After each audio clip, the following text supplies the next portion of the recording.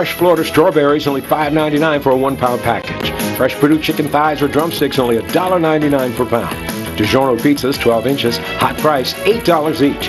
Bluebonnet margarine sticks one pound box only $1.69. Ajax 2X laundry detergent 50 ounce bottle only $5.69. All stores open Monday through Saturday from 7 a.m. to 10 p.m. and Sunday 9 a.m. to 7 p.m. for your shopping convenience. From Bermuda Broadcasting, this is ZBM TV9 News. Good evening, everyone. It's Friday, February the 9th, 2018. I'm Diane Brewer, and thank you for joining us tonight. Walton Brown Jr., the Minister of Home Affairs, gave comment today at the House of Assembly on the governor's assent to the Domestic Partnerships Bill. The minister introduced the bill, which was intended to replace same sex marriage in Bermuda last year. Gary Moniz asked how the decision sat with the minister, given his personal support of same sex marriage. I am speaking to you as a government minister. We deliberate, we come to positions, and we execute our positions. How difficult was that to marry that with your personal beliefs? I don't have a personal position when I speak to you as minister. My position is a matter of public record, but we did this as a compromise piece of legislation. There's been a lot of pushback from the international community with regard to this, saying that Bermuda was the first country or is among the few countries in the world to implement or accept same sex marriages only to turn it over. Mm-hmm. See that having any negative impact on this country or having any impact at all on Bermuda? Well, clearly, any international tension is, that's negative, we don't welcome, obviously. Uh, but we are a government of laws. And this legislature, which is the duly elected body to pass laws, passed the first piece of legislation providing a right, a range of civil rights and, and political rights for same-sex couples. However, Minister Brown does expect the overall views on homosexual relationships to change over time.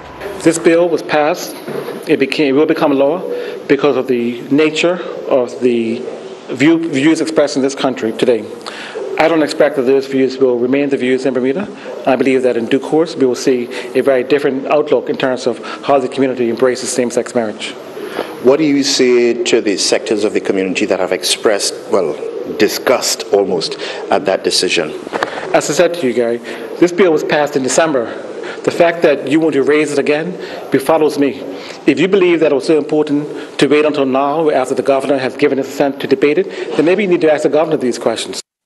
Meantime, traditional marriage lobbyists Preserve Marriage have expressed their gratitude for the governor's approval of the Domestic Partnership Act, thereby reversing same sex marriage law. They congratulate lawmakers on being the first country in the world to do so. Jasmine Patterson has more. The group says they're thankful for the decision to reverse the law on same sex marriage in Bermuda and thank all who supported their campaign efforts over the past two years to ensure the definition of marriage remains between a man and a woman. Governor John Rankin gave assent to the controversial Domestic Partnership Act on Wednesday, drawing ire from international human rights groups and a UK MP, Chris Bryant. Although it does not condone any legal union which may provide legal footing for same sex marriage, they add we do wish to commend the government on being the first and only government in the world to reverse the laws. Further, they add we recognize the European Court of Human Rights position that the European Convention on Human Rights does not impose an obligation on a government to grant a same sex couple access to marriage, adding they acknowledge that the Domestic Partnership Act satisfies the requirement of the European Court of Human Rights to recognize same sex relationships. I don't really have any views.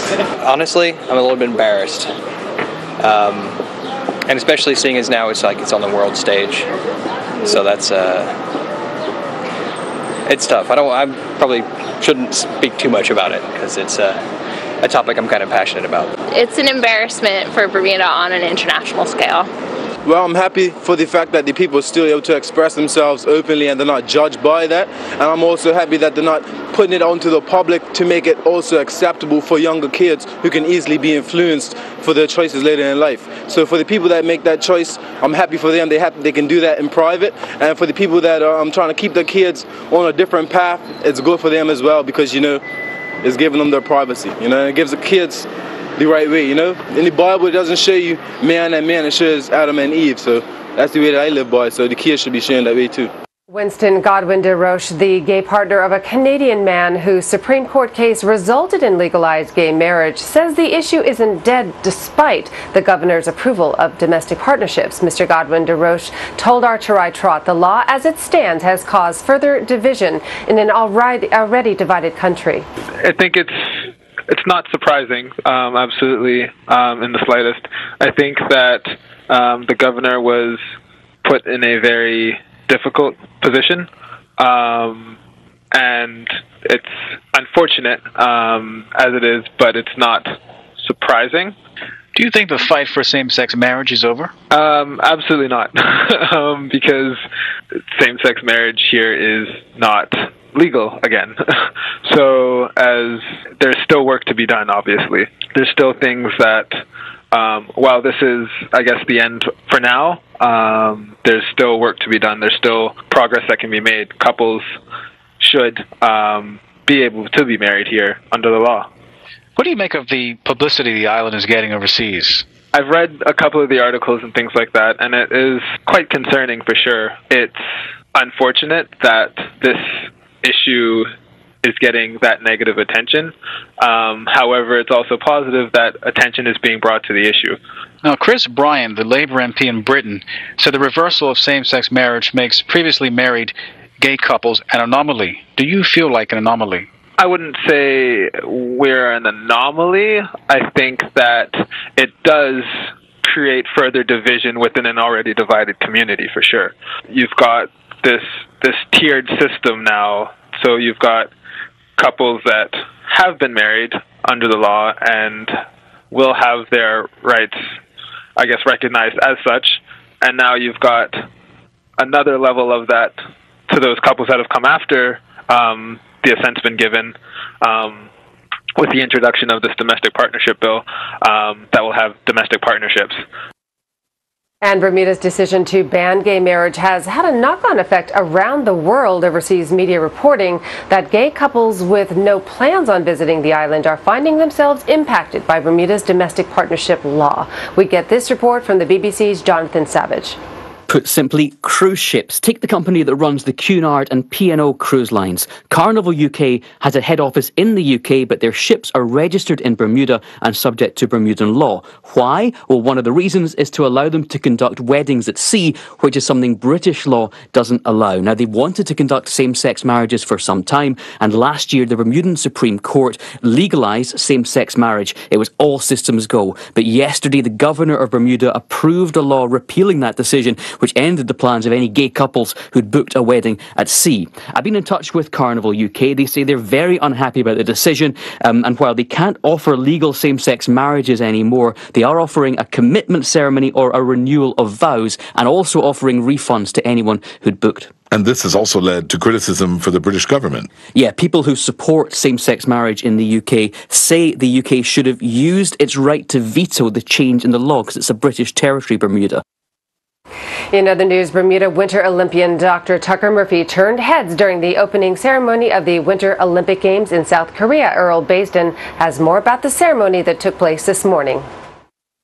It was not the first time the delegation from Bermuda had worn bright red shorts for the opening ceremony of an Olympics, and not the first time that cross-country skier Dr. Tucker Murphy had caused a stir with them. It was, however, the first time that the Bermuda shorts made an appearance in temperatures that dipped just below zero degrees Celsius at the Pyeongchang Olympic Stadium. With just about every other country walking the Parade of Nations walkway dressed warmly, it was not so for Murphy, who will compete in the men's 15K cross-country skiing competition on Sunday morning at 2.15 a.m. Bermuda time. I'm Earl Basden with Bermuda Broadcasting News. And Earl will have more on today's Olympic coverage later on in the Sports Report. Stay with us. More news in tonight's AccuWeather forecast after the break. Price Right is your one-stop shop with something for everyone. Household goods for kitchen, bedroom, and bathroom. Aisles of bulk groceries at value prices. A complete selection of fresh meat and produce. And an extensive range of frozen items to cover every meal. Wines from around the world and beer and liquor at discount prices. Visit Price Right at our two locations in Pembroke and Warwick. There's always something new and always something for everyone.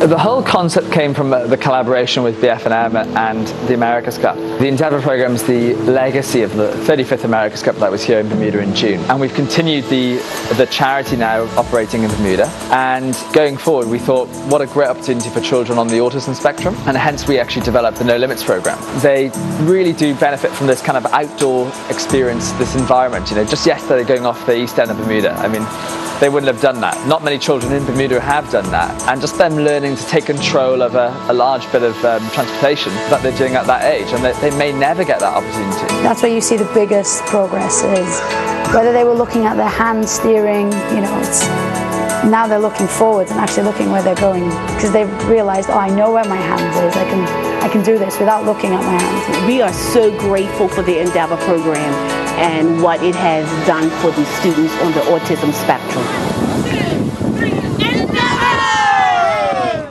Welcome back. Approval will be sought from the Senate for the Joint Select Committee set up to look into events which occurred during the airport protests on December the 2nd, 2016. Former Premier Michael Dunkley, who was requested to provide information to the JSC, questioned its constitutionality and makeup. Speaker Dennis Lister telling members while the setting up of this JSC was done in accordance with set precedents, he will take the necessary steps to ensure that it is in keeping with the dictates of the Parliament Act and the standing orders of the House of Assembly. Taking into consideration the seriousness of this particular Joint Select Committee, and we want that Select Committee to be able to have full authority to do the fact finding that is required for this particular matter, I'm going to follow the letter of the law. I've already spoken to the President of the Senate, and I've informed her that this will follow into her house, in, into the other chamber. Can you just re- refer to that here? But it'll go to the other chamber for approval through the other chamber as, a, as it was in this house, just so that that particular Joint Select Committee will then be unquestionable about its constitutionality. The reason I'm doing that is that I don't want to leave room for any member, any person, to be able to question whether they should or should not respond to a request of that Joint Select Committee. I expect all members, all persons who are requested to come before that committee, to come before the committee in the spirit of full participation. I take the word of the member who brought the matter to the public's attention this week, who indicated that he's quite prepared to participate in any fully constituted Joint Select Committee's request for his presence or his, his participation. So I'm going to hold the member to his word that this will be unquestionably done in a manner that removes any question about its constitutionality, and I expect him to set the standard for all other persons who are called before it by fully participating. I'm going to hold him to his word. And Mr. Lister reiterating his dissatisfaction that the letter from Mr. Dunkley communicating his concerns were made public before he had sight of them and was not good practice and will not be tolerated. I'm sure as we proceed in this parliament, there will be times when members of this House may feel indifferent to a position that the Speaker takes, and you have that right. But I also respect that there is a process in which you express that. If you have a difference of opinion or a position that the Speaker has taken or something that's been done in this House, I operate under fairness. My door is open at any time and all time to any member of this House. Any member, no matter which political affiliation you are, feel free to call on this Speaker when you may feel that there's been a position taken that you disagree with. However, let me clearly state, because there's two distinct differences here. Any letter, any document, any correspondence that's addressed to this speaker comes to this speaker. It does not go in the public domain. It doesn't belong in the public domain. It's not acceptable and will not be tolerated by this speaker. Let's be clear on that. Meanwhile, Mr. Dunkley welcomed the position as expressed by the Speaker. I've always had a very good relationship with the Speaker, even though we sit on um, opposite sides of the aisle. Uh, and I'm pleased that um, he has reflected now on the contents of the letter. Um, he was very clear today that he believed that there was precedent before where joint select committees weren't passed by either house. Um, I haven't researched back in there, but uh, it was clear to me that in the Parliament Act and also the standing orders, they had to go to, to either house. And, and um, I fully support the position of the speaker and, and uh, respect him um, coming to that decision because we're looking at a very contentious year, where there are views uh, from every different quarter on it, and they're very emotive. And I think it's important, uh, being that the case, that we make sure that the uh, I's are dotted and the T's are crossed. And I'm sure that um, the motion will be um, pretty simple in the Senate. Um, the motion um, just asked for a joint select committee to be set up. It doesn't get into the details of, of that day. Uh, we got carried away in the House of Assembly. Uh, many members spoke on it. Um, I didn't speak that day because uh, it was to set up the Joint Select Committee. And um, my colleagues and I supported the setting up of that committee because why wouldn't we? We're open and transparent about everything we have done. We're willing to answer any questions, so of course we set it up. But we didn't need to have the debate on the floor that night. Um, so I look forward to uh, it passing in the Senate um, at their first meeting, and I look forward to the opportunity to attend and to uh, answer any questions they might have and provide some information that they might not have as well. Turning to weather news, a partly sunny weekend in store for us. Here's the latest from AccuWeather headquarters. AccuWeather is presented by BF&M Insurance Group. We now go to AccuWeather headquarters. The BF&M Insurance Group is pleased to bring you tonight's AccuWeather forecast. I'm AccuWeather meteorologist Brittany Boyer, and well, we've had some cool temperatures late this afternoon, but it looks like temperatures will be rebounding as we head into this weekend. So what we've had going on, frontal boundary working its way away from us, but uh, still in its wake. We could have a spotty shower or two this evening. We do have a small craft warning in place through this evening. So there's still some choppy and rough conditions out there on the water. But looking at the current conditions right now on the island here, those temperatures cooling off in the 60s, and we're looking at humidity at 90% this evening. Winds are out of the northeast, 10 to 20 knots, but we'll see that wind direction shifting uh, as we head into this weekend. So temperatures, again, will be rebounding. The water temperature currently sitting at 66 degrees, waves inside the reef between 1 and 3 feet, and outside of the reef reef right now between 5 and 8 feet. So again,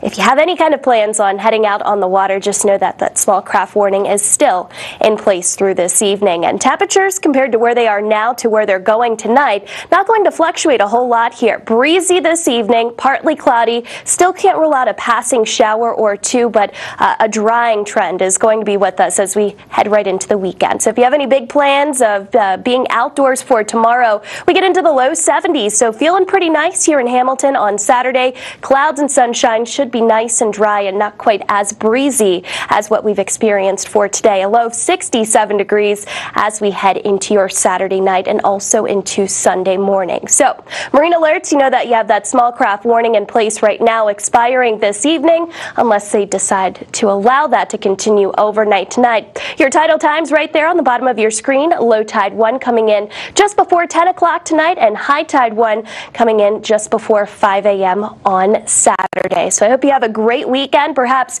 you're doing a little bit of traveling. Well, this is the forecast for a few other destinations. In Toronto, Canada, they're looking at some snow for tomorrow. Temperatures in the 20s. New York City, well above normal temperatures, getting close to 50 degrees. We should push into the 50s in Boston. So pretty warm on the East Coast, even warm in the Southeast, but with periods of rain around Atlanta.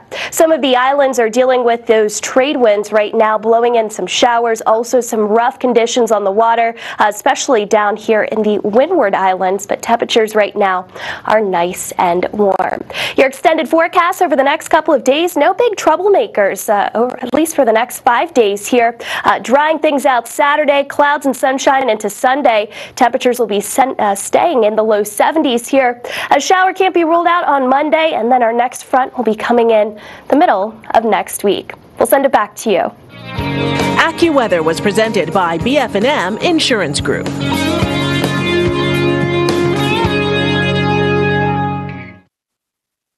Your home, your life, security. Be fire and burglar free. Right from your phone, monitor, control. Lock safes, doors, gates, business, family safe.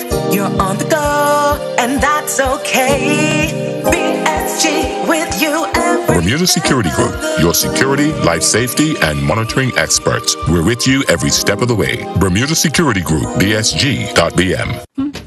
Are you required to take one or more medications daily but have a hard time remembering when to take them? Does your family fear you may end up in the hospital because you often forget to take your meds? Or are you a caregiver looking for a time management tool designed to make your medication routine effortless? The Phoenix stores can help. With an MDS blister pack, a multi dose packaging system that makes it easier to manage and take your medication.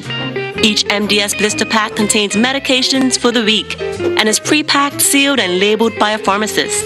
Prescriptions grouped by the day and the time of day you should take them, whether at breakfast, lunch, dinner, or bedtime.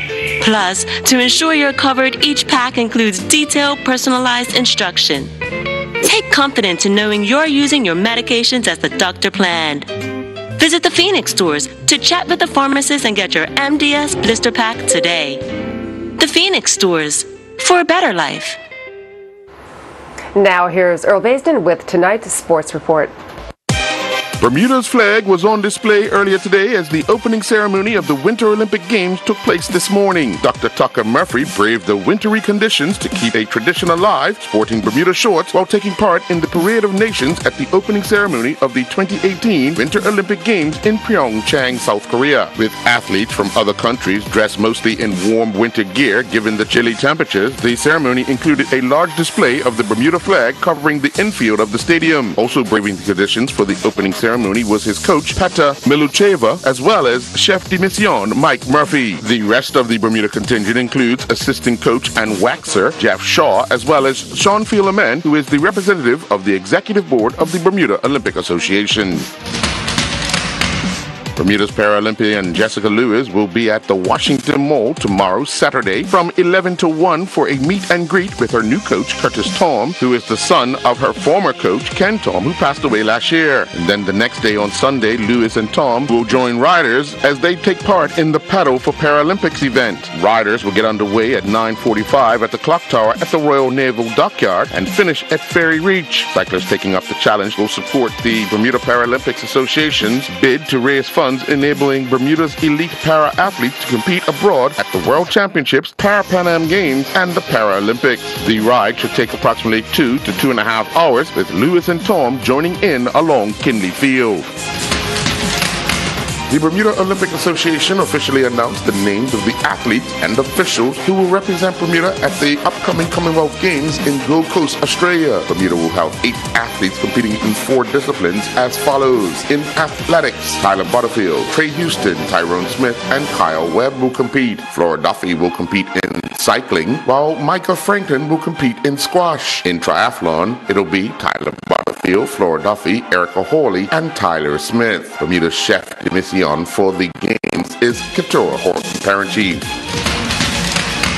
Bermuda's FIFA listed referee Tashawn Simons took part in a Jamaica Premier League football match last evening that saw Arnett Gardens and the Humble Lions end at 2 2. Vanessa James and her partner Morgan Ciprès began competing in the Pyeongchang Winter Olympic Games. Prior to the opening ceremony, the pair represented France in the team event pair skating short program and finished sixth with a score of 68.49.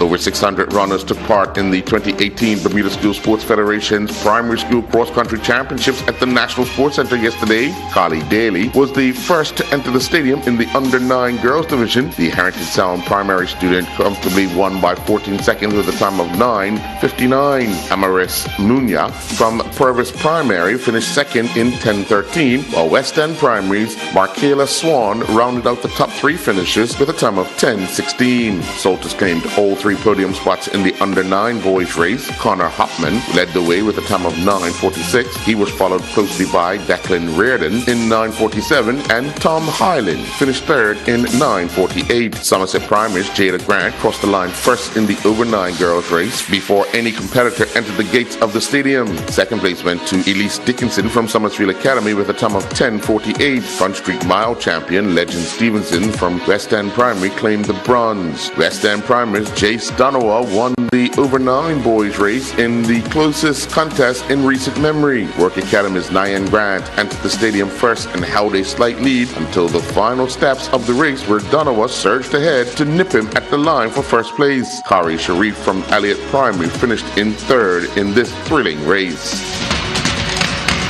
Bermuda squash professional Noah Brown competed in the $5,000 men's EM No Classic in Philadelphia, taking on the seventh seed Sahid Bakari from Pakistan in the first round. Brown would go down 3 to 1 in 67 minutes. He would lose the battle 11 3, 11 8, 4 11, 11 8.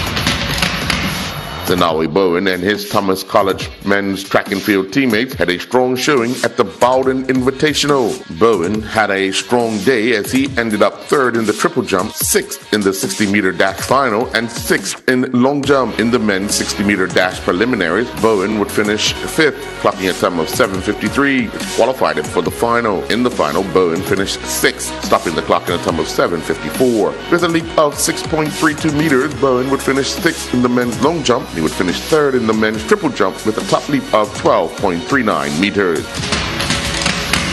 James Finnegan and his Florida Institute of Technology men's tennis teammates aced their first test of the season as they earned an impressive 9-0 win over Gustav Adolphus College. Already ahead 1-0 in the doubles, Richard Corona and Finnegan were next to hit the court and they would smash their opponents to the tune of 8-3. Florida Institute of Technology carried that momentum onto the singles with Finnegan playing in the second spot for the team and he would earn a straight set 6-2, 6-1 win over his opponent. I'm Earl Basden with Bermuda Broadcasting Sports. Your choice of potatoes, five pound bag, only $4.49. Fresh certified Angus beef, high round roast, only $5.99 per pound. Grace corned beef, 12 ounce tin, only $3.49.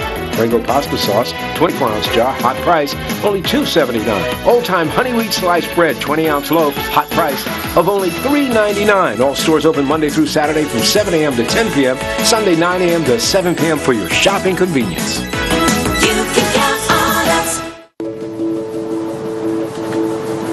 The whole concept came from uh, the collaboration with BF&M and the America's Cup. The Endeavour program is the legacy of the 35th America's Cup that was here in Bermuda in June. And we've continued the, the charity now operating in Bermuda. And going forward, we thought, what a great opportunity for children on the autism spectrum. And hence we actually developed the No Limits program. They really do benefit from this kind of outdoor experience, this environment. You know, just yesterday going off the east end of Bermuda, I mean, they wouldn't have done that. Not many children in Bermuda have done that. And just them learning to take control of a, a large bit of um, transportation that they're doing at that age, and they, they may never get that opportunity. That's where you see the biggest progress is whether they were looking at their hand steering, you know, it's now they're looking forwards and actually looking where they're going because they've realized, oh, I know where my hands is. I can, I can do this without looking at my hands. We are so grateful for the Endeavour program and what it has done for the students on the autism spectrum. The National Trust has commemorated the first woman to give an account of her life as a slave, Mary Prince. A plaque was unveiled earlier this week near her former home at School Lands Cottages in Pembroke. Our reporter Hal Davis was there. It's a house with a history. This building is where Mary Prince lived in the early 19th century after being sold at the age of 12 and separated from her family. Her famous book, The History of Mary Prince, mentions one occasion when she was lashed a hundred times after breaking a pot. Covered in bruises and blood, she lay outside this house all night before being forced back to work. For those who've also lived here, the sense of history is almost palpable. You can smell it, you can feel it, you can sense it. And just to let people know that this woman did fight on our behalf. I think she did a, um, a service to the country and many other uh, countries. Near the scene of that beating, the National Trust commemorated Mary Prince, with Bishop Vernon Lambe unveiling a plaque in her honour. Journalist Meredith Ebbin played a key role in reviving interest in Mary Prince in Bermuda. She's the only first person account that we have of slavery in Bermuda. And uh, so that's unique about it. Um, and the fact that she's female, she, she cast a light on what it's like to be female. I mean, she would have been subject to sexual abuse, uh, which was sanitized in the book. But we, we could, you can read between the lines and see that she was not only brutalized, but sexually abused. I would, she was likely even raped. The power of that story played a vital role in changing attitudes towards slavery in Britain. Prince's book was republished three times within 12 months, and just two years later, in 1833, slavery was abolished in the British Empire. Her account widely credited with helping speed the end of the trade, one that denied men and women their essential humanity. Howell Davis, Bermuda Broadcasting News. That's our newscast for tonight. I'm Diane Brewer. Thanks for joining us. Have a wonderful weekend, everyone. Good night.